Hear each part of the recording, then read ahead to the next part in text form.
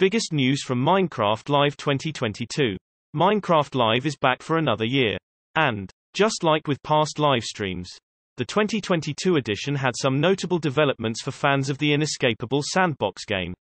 That includes a look ahead at the next major update for the main version of Minecraft as well as details on spin-offs like Dungeons and Legends. If you couldn't catch the event, ahum, live, here's the big stuff you missed. Minecraft 1.20 will be focused on self-expression. The next big Minecraft update, which brings the game up to version 1.20, doesn't have a name or a date attached to it yet, and that's on purpose. At Minecraft Live, the team spoke about keeping expectations in check by not revealing the full plan or name until closer to launch whenever that is. Instead, details will gradually come out until then. But the overall goal for the update is to focus on self-expression representation, and storytelling. For now, we know at least a few things. Including additions like decorative hanging signs, bookshelves you can put actual books on, the ability to craft with bamboo including making a raft, and new camels you can ride with a friend. No word on whether they spit. Seven new default skins are coming.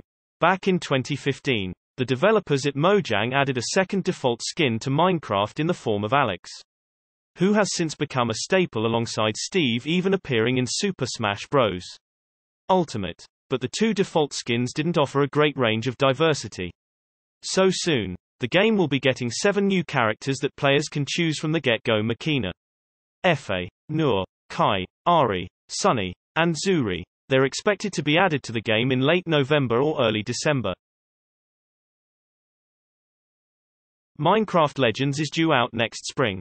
In June, Microsoft officially announced the next Minecraft spin-off, an action, strategy hybrid called Minecraft Legends.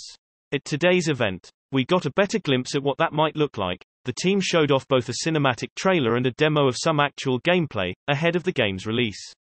And while it doesn't have a specific date just yet, the company says Legends will be launching in spring 2023. Minecraft Dungeons gets spooky. And some new multiplayer. The Diablo-style spin-off Minecraft Dungeons has had a surprisingly enduring life since it debuted in 2020. And at Live, we got a few details on what's coming up next for the game. Naturally, with spooky season well underway, some Halloween gear will be coming, including something called the Hungriest Horror Armor Set. The event runs from October 26 to November 9. The multi-floor tower mission, meanwhile, will be getting a multiplayer mode in the future and Season 3 of Dungeons will kick off on October 19 with the theme Fauna Faire, that has a big focus on pets and animals. Batman is coming to Minecraft. Minecraft is no stranger to licensed add-ons. And the latest big-name addition is Batman-themed. Complete with iconic comic book characters and a blocky recreation of Gotham City. The DLC pack will be coming out on October 18. In the meantime, Players can get this Dark Knight cap pictured above for free starting today. Source reposted and summarized from Andrew Webster at The Verge.